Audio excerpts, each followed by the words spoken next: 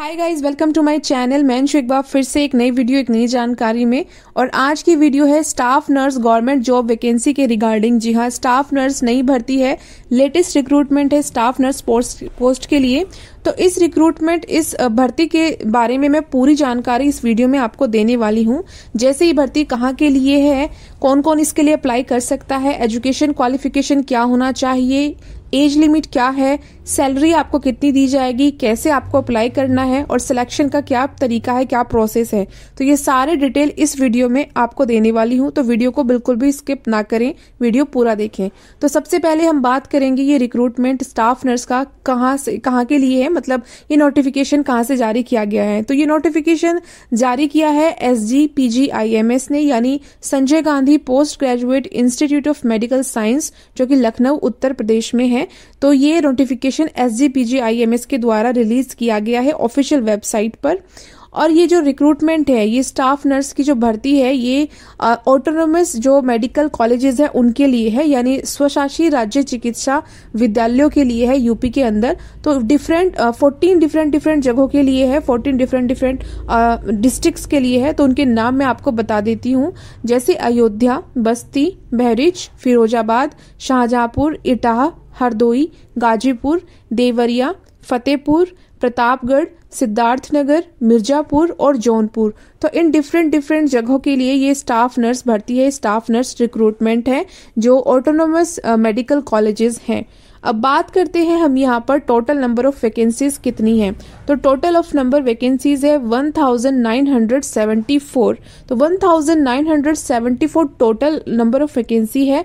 अगर हम category wise देखें तो यहाँ पर एससी के लिए है 415 एसटी के लिए है 39 ओबीसी के लिए है 533 ईडब्ल्यूएस के लिए है 197 और अनरिजर्व यानी जनरल के लिए है 79 तो टोटल 1974 वैकेंसी है। बात करते हैं पे मैट्रिक्स की, यानी कि आपको कितनी सैलरी दी जाएगी। तो जो सैलरी रहेगी वो लेवल सेवन की रहेगी। तो यहाँ पर जो सैलरी है वो forty four thousand nine hundred से लेकर के one lakh forty two thousand four hundred है। तो फोर्टी फोर नाइन हंड्रेड से लेकर के one lakh forty two nine four hundred है, जो कि मंथली बेसिस पर है, यानी कि पर मंथ आपकी सैलरी रहेगी। अब बात करते हैं यहाँ पर रिजर्वेशन की, कि कितना रिजर्वेशन दिया जा रहा है। तो विमेन के लिए है ट्वेंटी परसेंट और दिव्यांग के लिए है फोर परसेंट एक्स सर्विसमैन के लिए है फाइव परसेंट और फ्रीडम फाइटर्स के लिए है टू परसेंट तो वुमेन अगर हैं तो ट्वेंटी परसेंट उन्हें ये आरक्षण दिया जाएगा और इससे साबित होता है कि जो वैकेंसी है वो मेल और फीमेल दोनों के लिए है।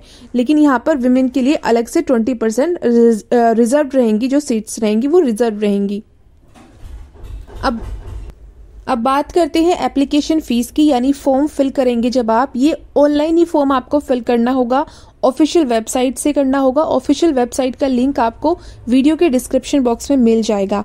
सो so, एप्लीकेशन जो फ़ीस रहेगी वो जनरल के लिए रहेगी ग्यारह सौ अस्सी रुपये ओबीसी के लिए और ईडब्ल्यूएस e के लिए रहेगी ग्यारह सौ अस्सी और शेड्यूल कास्ट और शेड्यूल ट्राइब्स के लिए रहेगी सात सौ आठ तो जनरल ओबीसी और ईडब्ल्यूएस e के लिए एक हज़ार एक सौ अस्सी है और एस सी के लिए सात सौ आठ एप्लीकेशन फ़ीस रहेगी। अब बात करते हैं एज लिमिट की। तो एज देख लेते हैं तो 21 ईयर्स से लेकर के 40 ईयर्स तक के कैंडिडेट्स इसके लिए अप्लाई कर सकते हैं। मिनिमम जो एज रहेगी वो 21 साल रहेगी और मैक्सिमम जो एज रहेगी वो 40 साल रहेगी। प्लस यहाँ पर एज रिलैक्सेशन भी मिल जाएगा, यानी एज आरक्षण भी मिल जाएगा S C S T OBC के लिए। ठीक है? थ्री इयर्स का एज रिलैक्सेशन मिलेगा ओबीसी कैंडिडेट्स को और एस सी एस टी को मिलेगा पाँच साल का एज रिलैक्सेशन और जनरल के लिए जो एज रहेगी वो ट्वेंटी वन ईयर से लेकर के फोर्टी ईयर्स तक रहेगी। अब बात करते हैं एजुकेशन क्वालिफिकेशन की। क्या एजुकेशन क्वालिफिकेशन होना चाहिए इस पोस्ट के लिए, स्टाफ नर्स भर्ती के लिए? तो बीएससी नर्सिंग कंप्लीट होना चाहिए फोर इयर्स का आपका। इंडियन नर्सिंग काउंसिल से आपका जो कॉलेज या इंस्टीट्यूट है, वो रिकॉग्नाइज्ड होना चाहिए इंडियन नर्सिंग काउंसिल से, जहाँ से आपने बीएससी नर्सिंग किया है। साथ ही साथ अगर आपने पोस्ट बेसिक बेसिक नर्सिंग किया है तो भी आप इसके लिए अप्लाई कर सकते हैं। पोस्ट बेसिक नर्सिंग आपका टू ईयर्स का कंप्लीट होना चाहिए। इंडियन नर्सिंग काउंसिल से आपका कॉलेज रजिस्टर्ड होना चाहिए इंस्टीट्यूट जहाँ से आपने पोस्ट बेसिक बीएससी नर्सिंग किया है। साथ ही साथ आप रजिस्टर्ड नर्स होने चाहिए इंडियन नर्सिंग काउंसिल या स्टेट नर्सिंग काउंसिल से। अब इसमें जो जिन स्टूडेंट्स ने या जिन कैंडिडेट्स ने जीएनएम किया है, वो भी अप्लाई कर सकते हैं। जनरल नर्सिंग मिडवाइफरी अगर आपने ये डिप्लोमा किया है तो भी आप इसके लिए अप्लाई कर सकते हैं। आपका कॉलेज इंडियन नर्सिंग काउंसिल से रिकॉग्नाइज होना चाहिए। प्लस आपको टू इयर्स का यहाँ पर एक्सपीरियंस होना चाहिए। देखिए बीएससी नर्सिंग में और पोस्ट बेसिक बीएससी नर्सिंग में एक्सपीरियंस रिक्वायर्ड नहीं था। लेकिन अगर आप जीएनएम हैं तो जीएनएम के लिए दो साल का वर्क एक्सपीरियंस आपके पास होना चाहिए। कम से कम 50 बेड के हॉस्पिटल में मतलब जिस हॉस्पिटल में आपने काम किया है, वहाँ एटलीस्ट मिनिमम 50 बेड होने चाहिए। तो अगर आपके पास दो साल का एक्सपीरियंस है और आपने जीएनएम किया है तो भी आप इसके लिए अप्लाई कर सकते हैं। साथ ही साथ आप भी रजिस्टर्ड नर्स होने चाहिए, किसी भी स्टेट और इंडियन नर्सिंग काउंसिल से रजिस्टर्ड आपका, आपके पास रजिस्टर्ड नर्स का सर्टिफिकेट होना ज़रूरी है। तो ये एजुकेशन क्वालिफिकेशन थी जो होनी चाहिए और वही इसके लिए अप्लाई कर सकते हैं। अब बात करेंगे हम यहाँ पर सिलेक्शन प्रोसेस के बारे में कि आपका जो सिलेक्शन है वो कैसे होगा। तो सिलेक्शन के लिए आपका एक टेस्ट होगा जिसका नाम है सी यानी कॉमन रिक्रूटमेंट टेस्ट और ये जो टेस्ट होगा ये हंड्रेड मार्क्स का होगा। टू आवर्स की ड्यूरेशन आपको दिया जाएगा, यानी कि दो घंटे का आपको समय दिया जाएगा हंड्रेड मार्क्स का ये क्वेश्चन पेपर आएगा। और मल्टीपल चॉइस क्वेश्चन होगा, यानी कि ऑब्जेक्टिव टाइप होगा, आपके पास एक प्रश्न होगा, चार ऑप्शन होंगे, सही ऑप्शन पर आपको क्लिक करना है। तो ये कंप्यूटर बेस्ड टेस्ट होगा, यानी ऑनलाइन ही आपका टेस्ट रहेगा, और ऑब्जेक्टिव टाइप आपका क्वेश्चन आएगा, यानी एमसीक्यू क्वेश्चंस आपके आएँगे। पैटर्न की बात कर लेते हैं एग्ज़ाम पैटर्न क्या रहेगा? तो 80 परसेंट जो क्वेश्चन होंगे, वो रिलेटेड होंगे आपकी नर्सिंग थ्योरी से।